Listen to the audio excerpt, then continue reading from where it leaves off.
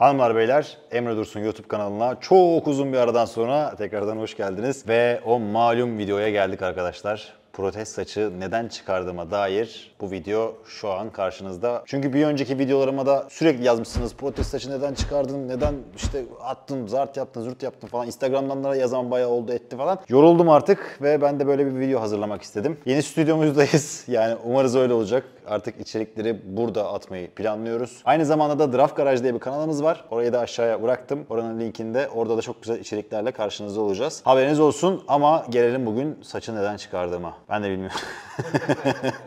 Saça çıkarmamın aslında birkaç nedeni oldu. Fakat ben sizin yorumlarınıza göre ilerlemek istiyorum. YouTube'da çok fazla yorum geldi bu konuyla alakalı. Yiğit hocam sence neden çıkarmışsındır saçı? Tabii ki de öyle.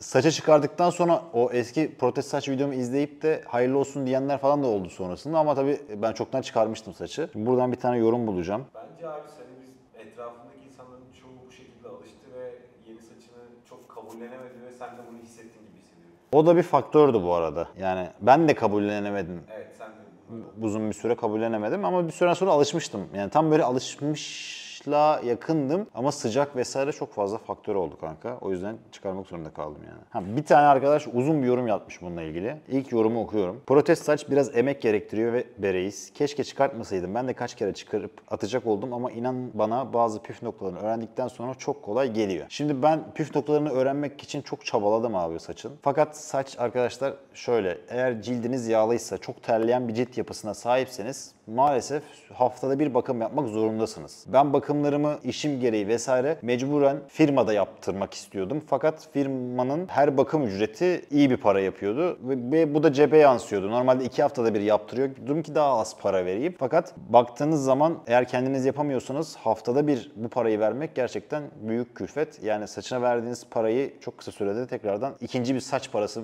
gibi bir şey veriyorsunuz. En büyük sebeplerinden biri saçı çıkarmamın buydu. Alıp ürünleri kendiniz de yapabilirsiniz. Yapışkanları vesaire kolay aslında. Eğitim şeyini atıyorlar, videolarını atıyorlar. O eğitim videoları üzerinden de saçı kendini evde yapabilirsiniz. Fakat ben onunla uğraşmak istemedim. Bu birinci e, aslında tercihim oldu benim. Kendi yorumlarımı katarak anlatacağım size arkadaşlar bunu. Protez saçı çıkarmamın en büyük sebeplerinden biri de işte sıcağa dayanamamam. Sıcakta yağlı bir cildim olduğu için çok ya, hani e, terleyen bir cildim olduğu için gerçekten uzun süreler saç kafanızda durmuyor. Bakımı yaptıktan bir hafta sonra yapışkanlar akmaya başlıyor ve bantlar çıkmaya başlıyordu. O yüzden ben de bununla uğraşmak istemedim. Hatta en son bir çekim sürecindeydim. Her gün çekim vardı o dönem ve bakıma gidecek zamanım da yoktu. Evde yapacak zamanım da yoktu. Artık yapışkanlar akmaya başladı ve gerçekten kafam kaşınmaya başladı. Sürekli kafama kaşıyordum. Yapışkanlar elime geliyor. İğrenç bir hissiyatı vardı. Sıcak havalarda gerçekten protez saç kullanmak çok zor. Eğer bakımı kendiniz yapamıyorsanız ya da bakım yapacak çok zamanınız yoksa çok fazla önermiyorum demeyeyim ama benim için böyle bir şey söz konusuydu. Yani ben o saçla uğraşacak zamanım yoktu. Bir diğer konu da aslında çevremdeki insanlar, çevremdeki insanlar gerçekten beni saçlı halimi kabullenemedi abi. Yani ben kendimi kabullenmeye başladım ama çevremdekiler hala kabullenememişti. Öyle olunca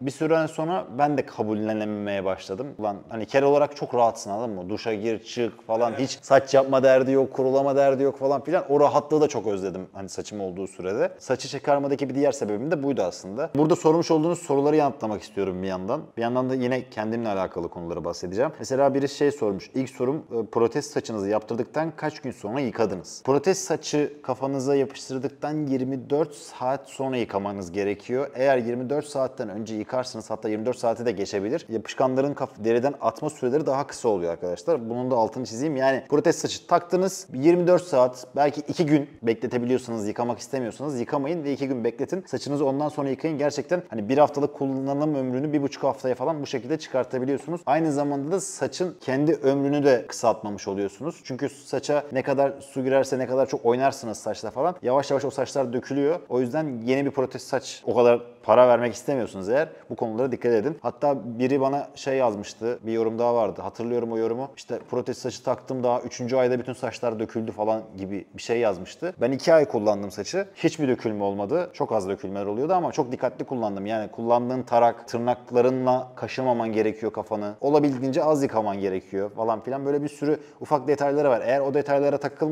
hani o detayları uygularsanız saçınızın ömrü de yaklaşık bir yıla kadar rahatlıkla gidebiliyor. Haberiniz olsun. İkinci soruyu da terlediğiniz zaman ya da yıkadığınız zaman bantlar kalkıyor mu? Ha, aslında hemen hemen o cevabı verdim. Terlediğiniz zaman da kalkıyor, yıkadığınız zaman da kalkıyor. Fakat ufak tefek yine orada tüyoları var. Ne gibi? İşte saçın önünü kaldırdığınız, yani orayı temizleyip fön makinesiyle tekrar ısıtıp tekrar yapıştırıyorsunuz. Bir süre bastırıp durduğunuz zaman saç tekrardan yine o yapışkanlar etkisini gösteriyor. Yani böyle gününüzü kurtarabiliyor o şekilde. Yine 5 aydır kullanıp da protez saçtan sıkılan bir arkadaşım bir yorumu var. 5 aydır kullanıyorum protez. Ben de atacağım protezi hocam. Hem kaşıntı çok yapıyor, erken yıprandı saç, kızıllaşma oluyor saçta. Bu sanırım saçın kalitesinden ya da ben iyi bakamadım bilemiyorum. Bakımlar vesaire derken gerçekten yıpratıcı bir olay. Çok doğalda durmadı bende. Bu olaya girişecekler. Gerçekten iyi araştırıp iyi mekanda yaptırmaları bence İstanbul hariç iyi mekanda az bu arada araştırdığım kadarıyla. Saça iyi bakmayacaksın ve kaliteli yerde kaliteli saç yaptırmayacaksan girişmeyin bu işe demiş. Kaşınma olayı gerçekten doğru. Çok sıcakta, çok terlediğiniz zaman yapışkanların olduğu kısımlar inanılmaz kaşınıyor ve kaşımaktan artık böyle benim saça çıkardıktan sonra şey olmuş. Egzama gibi olmuş buralarım. Kıpkırmızı olmuştu ve bir süre kaldı öyle. Gerçekten hani o kaşıntısı sinir bozucu oluyor. O yüzden zaten düzenli olarak bakım yapmanız gerekiyor. Yani haftada bir bakımını işte bu kaşıntıların falan daha az olması için yapmanız gerekiyor. Çünkü yapışkanlar etkisini yavaş yavaş azalttığın zaman ya da sıcaktan akmaya başladığı zaman kaşıntı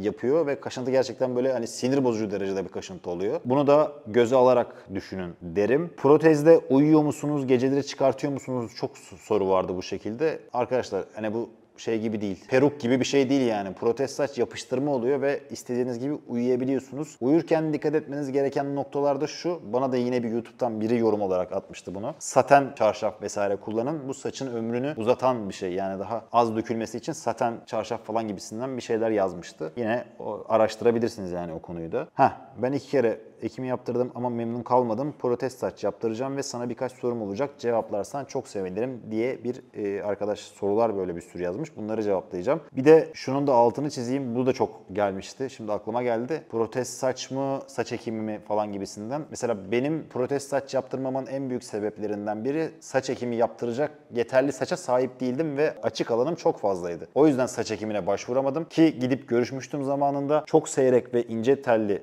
saçlarım ve çok az olduğu için arka taraflarda da. Hani burayı alırsak, arka tarafı alırsak arkada hiç saçın kalmaz. Yani full Amerikan tıraşı gibi gezersin demişti ve onun da ömrü yine çok kalıcı olmaz. Bir süre sonra o ekilen saçlar da dökülür demişti. O yüzden ben protez saçı tercih ettim. Siz de ona göre düşünüp eğer açık alanınız azsa ve yeteri kadar gür saçlarınız varsa arka taraflarda falan ekim yapmak bence daha mantıklı. Ekim yapılmasını öneriyorum. Protez saça hiç girmesine gerek yok. Çünkü sizin tıraş alanınız daha fazla olacak ve bu sefer daha fazla bakım yapmanız gerekecek falan filan bir sürü detayı var. Yani onun kararını siz verin. Eğer yeterli saçınız varsa ekim yapabilirsiniz. Eğer yoksa benim gibi şurası komple açıksa protez saç mantıklı olan olacaktır. Alışma süreci ne kadar sürdü diye sormuş. Ya alışma süreci ortalama bir ay falan sürdü. O da şöyle modeli oturtmak, işte yıkama vesaire falan böyle bir sürü aşamaları olduğu için onlara alışmak biraz zaman aldı. Bir ay kadar gibi bir süre. Alıştıktan sonra kullanımı rahat gelmeye başladı. Tek sıkıntısı benim için bakımdı. Yani bakım olayını çözdükten sonra aslında rahat rahat kullanabilirsiniz. Yani haftada bir bakımı ben kendim yaparım öyle bir zamanım var vesaire derseniz ki bakın kendi evde yapmaya kalksınız bakımınızı 2 saat 3 saatte falan kendi bakımınızı yaparsınız. Çok da uzun bir süre değil yani o bakım süresi. O konuda problem yaşamazsınız ama ben öyle bir zamanım yoktu. Mekanda bakım süresi daha kısa sürüyordu bu arada. Hani ben mekana gidiyordum. 45 dakikada falan hallediyorlardı mesela. Ama evde yapmaya kalksan yine bir iki saatini alır diye düşünüyorum. Ben bir de hani kel alemi de beğendiğim için hani saça zaten mecbur kalmadığım için aslında Daha kolayına gel. Aynen ya dedim yerler affedersin yani. Ama gerçekten kendini kötü hissedip hani saçsız halini hiç beğenmeyenler e, buna bir şekilde katlanıyor ve o şekilde hayatlarına devam ediyorlar yani. Protez saç merkezinde bakımlarını ne kadar sürede bir yaptırıyorsun diye sormuş. Ben yaptırdığım dönemlerde işte iki haftada bir, bir buçuk haftada bir gidiyordum. Ama bir hafta içerisinde ön taraflarda falan kalkmalar yaşanıyordu. Bu arada bu saç modeliyle de alakalı. Saç modelinizi eğer uygun bir model seçerseniz ön tarafta kalkma problemini falan çok daha böyle dikkate almanızı gerektirecek bir duruma sokmazsınız kendinizi. Benim biraz daha böyle uzun ve yana falan böyle değişik bir model kullanıyordum. O çok, hani kullandığım modelden dolayı ön taraflarım benim sürekli kalkıyordu. Yani çok kısa sürede kalkıyordu. Bu biraz modelle alakalıymış. O modeli de ona göre eğer sizin işte saçınızı yapan kişi biliyorsa e, yardımcı olurlar. Evde bakım yaptığında takıp çıkarması kolay mı ve ne kadar da bir evde bakım bak evde bakım yapmadım ama kolay yani çok zor değil. Zaten en son dayanamayıp kendim çıkarmıştım. İzopropil alkol kullanıyorsunuz. İzopropil alkolü sıktığınız zaman bir de böyle bezle silip silip silip fıt diye çıkıyor zaten kafadan. yani. Çok zor değil. Hatta zaten şey egzama eğer kafa, cildinde egzama olanlar varsa onlara yatmadan önce çıkartıp egzama kremi vesaire ne sürdürüp sabah kalktığında tekrardan taktırıyorlar. Öyle öyle de bir uygulamaları var yani. Eğer egzama falan gibi bir problemleriniz varsa öyle şeyler de yapabiliyorsunuz. Yani akşamları takıp çıkartabilirsiniz. Hangi firmada ve ne kadar ücrete yaptırdım? Yani firmanın ismini videoda söylüyorum fakat ücretini söylemeyeceğim. Şu anki ücretlerle benim yaptırdığım ücret büyük ihtimal çok büyük fark vardı arasında. O ücret konusunda firma adına en azından konuşmayacağım. Bir de protez kullanan bir arkadaşım vardı. Kendisiyle uzun süredir görüşmüyoruz. Onun bana söylediği bir şey vardı. Kafayı en fazla haftada iki kere yıkamayı tavsiye ediyordu. Çünkü her yıkamada kurulamada dökülmeler olduğunu ve bu da kullanım süresini düşürdüğünü söylüyordu. Banyo yapardım ama sadece vücudumu yıkardım. Sadece belli günlerde kafamı yıkardım demiş. Doğru söylemiş. Ne kadar çok üstüne düşersen saçın o kadar kısa süreli ömrü oluyor. Yani çok da takılmayacaksınız arkadaşlar. Yani haftada bir iki yıkamak yeterli protez saç için. Evet dökülmeler yaşanabiliyor. Gerçi saçın kalitesine göre de değişiklik gösteriyor. Benim böyle aşırı aşırı dökülmelerim yoktu. Yani duştan çıktıktan sonra işte tararken falan anca tarağa işte birazcık saç birikiyordu ama çok çok böyle aşırı saç dökülmem yoktu. Biri abi net sana ayıp olmasın diye beğeniyorlar. İlk gelen protez efsane demiş. Videoda ilk kısımda şey vardı da onu söylüyor. Bir hevesli yaptıranlar belli bir zaman sonra bakıyorsun hepsi kullanmayı bırakmış. Neden? Ben de onlardan biriyim. 2 ay. Bir, sıcaklar ve cildimin yağlı ve nemli olması. 2, maliyet. 3, zaman alan bir şey. Yani zamanınızın belli bir kısmını saça ayırmanız gerekiyor. Ve bu da yorucu bir şey. Benim için öyleydi en azından. Sanırım bu 3 kriterden dolayı ben saçımı çıkarma kararı aldım. Gerçekten yorulmuştum. Hele ki o dönem böyle iş, bakıma gidemedim, bakım yapamadım, iş vardı. İşte yapışkanlar aktı sürekli kafama ellediğim zaman elime yapışkan geliyor. Yap, bayağı da yapışkanı sağlam. O yüzden e, sinirimi bozmuştu. En son söküp attım. Kaşıntılar falan da başlamıştı. Bir yorum daha gelmiş. Merhaba, he, 23 yaşındayım. Saçlarım çok fazla döküldü. Neredeyse kalmadı diyebilirim. Genetik faktörden vesaire dolayı saçlarım ince telli ve arka bölgesinde çok çok iyi sayılmaz. Ancak saç ekimi firmalarıyla görüştüğümde önce çok sık bir ekim yapılıp duruma göre ikinci seans ile tepeye yapabiliriz diyorlardı. Protezi çok araştırdım ancak çok kuvvetli rüzgar esen bir yerde çalışıyorum ve burada mümkün olduğunca haftada bir bakım yapıp bantlarının sağlam kalmasını sağlamalıyım. Sence bu zahmete değer mi? Bir yıldır şapkayla dolaşıyorum artık bir tarz oldu bende. Şu anda birkaç ilaç ve serum kullanıp olan dönör bölgeyi ve üst bölgeyi sağlamlaştırıp ektirmeyi de düşünüyorum. Çok kararsızım demiş. Bayağı kararsız bir arkadaşımız. Şimdi şöyle söyleyebilirim. Rüzgarda kolay kolay uçacak bir yapıya sahip değil arkadaşlar. Yani kafaya harbiden yapışıyor ve hani öyle rüzgar, çok yüksek rüzgarda falan gerçekten problem yaşamazsınız. Yapışkanlar atmaya başlamadıysa. Yapışkanlar da zaten genelde ilk başta şu ön kısımdaki yerden atmaya başlıyor. Ama öyle çok çok böyle kişiye göre değişir ya da kullanıma göre değişir de. Mesela bende aşırı bir atma yapmıyordu. Ufak bir kalkma oluyordu. Yani o ufak kalkmadan da rüzgardan dolayı böyle saç yani kolay kolay kalkmaz yani havaya. Yine de evet sık sık haftada bir bakımını yapman gerekiyor.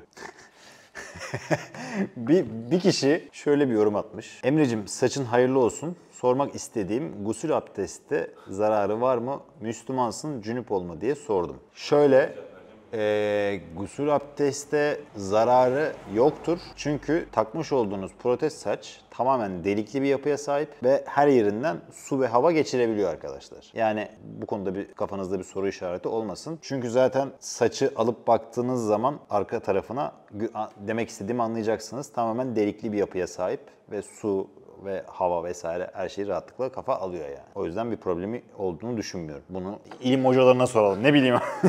Sorun. Diyanete açık sorun yani. Biri ben motor kaskı takıyorum. Motor takarken çıkartabiliyoruz mu? Rahatça.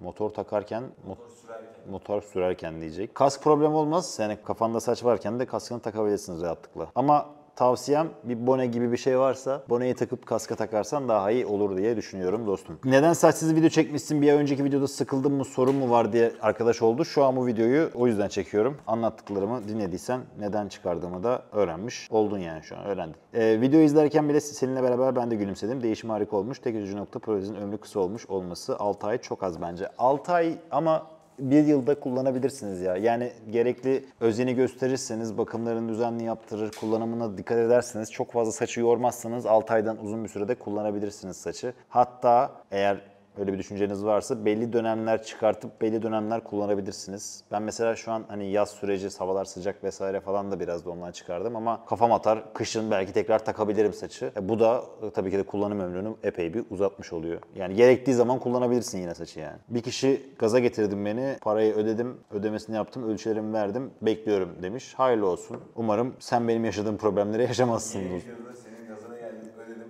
Allah belanı. Yazabilir yani her an. Ya kula- memnun olan çok memnun bu arada. Yani mesela Görkem o 4 yıldır kullanıyormuş Görkem protez saç. Aynen mesela onun saçı da protezmiş ve hiç anlaşılmıyor ve 4 yıldır kendi alıp e, kullanıyormuş. Kendi internetten saçı sipariş yapışkanları sipariş veriyormuş. Kendi yapıyormuş. Bir tane de bir berber bulmuş. Kesimini de ona yaptırıyormuş. O şekilde kullanıyormuş mesela. Ya daha uygun fiyata mal ediyormuş. 4-5 bin liraya falan internetten saçı alıyormuş. O şekilde kullanıyormuş ve gerçekten çok doğal duruyordu yani. Boyasını falan bile kendi yapıyormuş yani saç. Selam abi ben de yaptırmayı düşünüyordum da istediğin zaman da çıkarttık kolay çıkıyor. Evet çıkıyor. Çıkartırken kendimi çıkardın. Evet bir daha bir su ve hava geçiriyor mu? Geçiriyor. Başka başka başka başka. Yani böyle merak ettiğiniz ya da anlatmadığım bir şey soran varsa onları bulmaya çalışıyorum. Ha boyama kısmına gelecek olursak arkadaşlar boya hani ben koyu boy yani ilk yapıldığında saç bayağı koyu bir renge boyanmıştı. Sonra biraz açtırdım ve zamanla zaten saç boyası akıyor. Belli bir süre sonra da yine boyasını da yapman gerekiyor saçın ki yine o rengine dönesiniz. Eğer işte esmer bir cilt tonuna sahipseniz daha koyu bir renk e, size uyacaktır. Ki zaten hani eğer protez saçı yapan o berber vesaire kimse artık deneyimli bir insansa zaten saç renginizi tam olası size rengini onlar söylüyor, biliyorlar yani rahatlıkla halledebiliyorlar. Benimki bir tık koyu kalmıştı. Sonrasında bir numara aşağıya çektiler. Daha böyle rengini açtılar. Ve ben de bir süre boyatmadım. Daha da açılsın dedim. Böyle sarıya yakın yavaş yavaş olmaya başlamıştı. Cildim beyaz tenli olduğu için hiç de sırıtmadı. O yüzden beğeniyordum yani. İki hiç boya yapmamıştım sonrasında. Abi sıcak suyla duş alırsak bantlar akar mı? Aşırı sıcak suyla kesinlikle duş almayın. Gerçekten bantlara büyük etkisi var. Yani aldıktan sonra zaten ön taraflar falan benim çok akıyordu. Fön makinesiyle kurutup yapışkanı yapıştırıp öyle hayatıma devam ediyordum. Ama gerçekten olabildiğince ılık suyla yıkanın protez saçınız varsa. Bu yine değinmediğim konulardan biriydi. Saç ön taraftan aşırı derecede çekmezseniz açılmıyor. Ama tabii ki de mesela şöyle söyleyeyim ben böyle rahatlıkla oynuyordum. Hiçbir problem yaşamıyordum. Şöyle geriye doğru atıyordum falan. Hiç önler kalkmıyordu. Ama tabii tutup böyle çekerseniz tabii ki de hem saça zarar verirsiniz hem de yapışkanların atmasınız neden olursunuz. Öyle çok da şey bir yapışkan değil. Sonuçta kafanıza yapışıyor ve çıkması gerekiyor yani bir yerde. Spor yaparken, koşarken falan kazara yerinden çıkar mı? Koşarken, spor yaparken falan çıkmaz ki ben e, saçım işte protez saç yap- yaptırdıktan sonra spora falan gittim. Hiçbir problem yaşamadım. Sadece tabii terlediğim için spor esnasında yine duş alıp çıktıktan sonra ön taraflarım hafif kalktı. Yine fön makinesiyle o işlemi yapıp tekrar yapıştırabiliyorsunuz. Bu zaten şey firma size bunun bütün detaylarını söylüyor. Nerede ne yapmanız gerektiğini size belirtiyor. Ona dikkat ederek yine yapabilirsiniz sporunuzu rahatlıkla. Denize, havuza falan da rahatlıkla girebiliyorsunuz. Tabii bakımları düz- yani tek olayı bakımı düzenli yapmak saçın aslında abi. Başka bir hiçbir olay yok yani. Bakımlarını düzenli yaparsan rahatlıkla kullanabiliyorsun saçı. Evet genel olarak aslında çoğu soruyu cevapladım arkadaşlar. Zaten siz de yazmışsınız. Burada da YouTube'da da yazdığınız yorumların altına da çoğuna cevap vermek istedim ama bu videoyu yaparak da toplu bir cevap olsun istedim. Çok soran olmuş çünkü. Umarım anlattıklarımdan memnun kalmışsınızdır. Yine kafanıza takılan bir şey olursa yoruma yazabilirsiniz. Ben bu halimden memnunum. Herkes nasıl kendini daha iyi hissedecekse o haliyle takılabilir diye düşünüyorum. Yani eğer protez saçtan memnunsanız ve kel halinizi sevmiyorsanız o eminim o eziyetin altına girer, girersiniz yani sıcak mıcak etki etmez düzenli bakımınızı yaparsınız. Kendinizi daha iyi hissedersiniz. Ben kendimi böyle de daha iyi hissediyordum. O şekilde de daha iyi hissediyordum. Fakat kel olmak benim daha rahatıma geldi. Biraz benim fazla rahat bir adam olduğumdan dolayı ben saçı kullanmak istemedim. O yüzden çıkarmaya karar verdim. Ama yaptıranlara tabii ki de saygım sonsuz. İyi yerlere, iyi firmalarla çalışırsınız ya da kendiniz de alıp yapabilirsiniz. İşte dediğim gibi bir tane arkadaşım o şekilde yapıyor. İyi bir araştırmasını yaparak kendiniz de rahatlıkla protez saçınızı yaptırabilirsiniz. Şimdiden hepinize saçlı günler diliyorum arkadaşlar. İstediğiniz hayata, daha doğrusu nasıl yaşamak istiyorsanız öyle yaşayın. Kimsenin size ne dediğinin çok da bir önemi yok. Ben saç yaptırdıktan sonra da bana çok şey söyleyenler oldu. Destekleyenler de oldu. Ama önemli olan sizin ne kadar bu saçı istediğiniz, ne kadar kendinizi iyi hissettiniz. Önemli olan kendi bakımınız, kendi güzelliğiniz öyle düşünüyorum. Diyeceklerim bu kadardı. Dediğim gibi yine soracak bir şey olursanız yorumlara yazın. Artık bu saç konusunu kapatmak istiyorum. Çünkü yani saç videosundan sonra saat videosu attım, kulaklık videosu attım. Yine o kulaklık ve saat videosuna saçı soruyorlar anladın mı yani? Bu konunun kapanması için bu videoyu çekiyorum. Hem de aklınızda kalan soruların merakını giderebilmek için bu videoyu çekmek istedim. Kendinize çok iyi bakın. Bir sonraki videolarda görüşmek üzere. Beni izlediğiniz için çok teşekkür ederim. E pyrëm.